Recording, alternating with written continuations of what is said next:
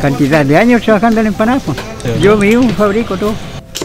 La portera ahora me levanté a las 4 de la mañana. Casi todos los días a las 4 o 5 de la mañana. Pues, Sí, son mis queridos, yo aquí en Serena, por todos lados de la municipalidad. Pues. Ahí ahí.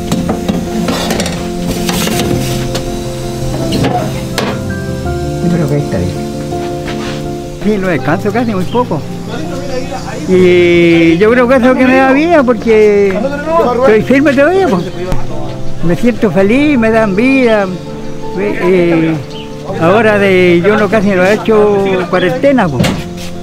Hice una sola cuarentena de, de 12 días.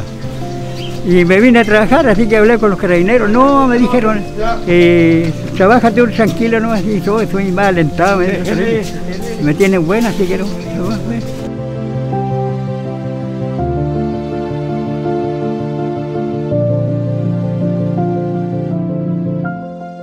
pues.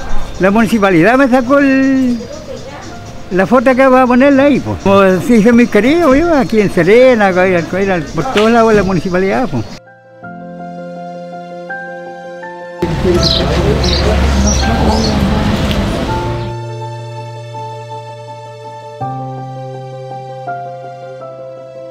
Es un reconocimiento a aquellos adultos mayores que toda la vida han organizado, participado y han sido un aporte para las compañías.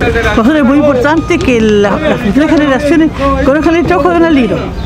Porque él es un gran dirigente social, es un hombre profundamente comprometido, es todo un caballero y siempre nos está aportando.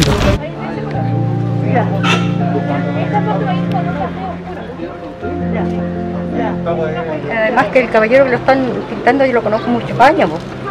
Muchos años yo le compro empanada también a él y es muy buena persona.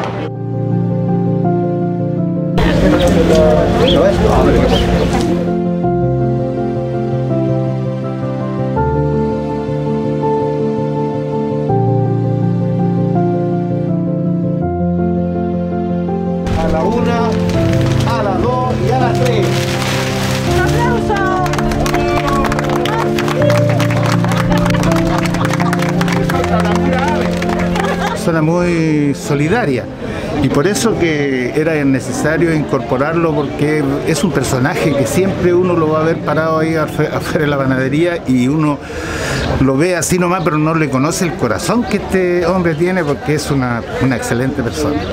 es gente que tiene una larga tradición en el sector de las compañías y él es un hombre que tiene su emprendimiento, hace empanadas, juega dominó, está en, todos lados y creo que esa gente merece un tremendo reconocimiento de nosotros porque ellos son la historia viviente de lo que es el sector de las compañías y, hay que recuperar la memoria histórica de los sectores y él es una parte importante de esto.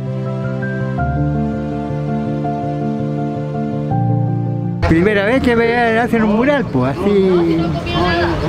Aquí ahora por la municipalidad, que todos me quieren. Y eh, por encantado, pues.